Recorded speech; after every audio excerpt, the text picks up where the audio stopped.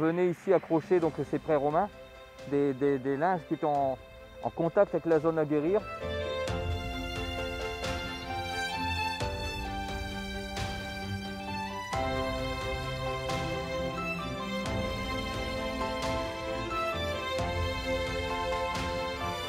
Vous avez une attelle. Donc l'attelle, c'est forcément quelqu'un qui a un problème de jambe. Donc vous savez, en fonction des linges qui sont accrochés, vous pouvez à peu près savoir euh, ce que les gens, la zone que les gens voulaient, guérir en fait. Et donc vous voyez, concernant le Covid, on a quand même euh, pas mal de masques. hein. Et ça, évidemment, c'est tout nouveau.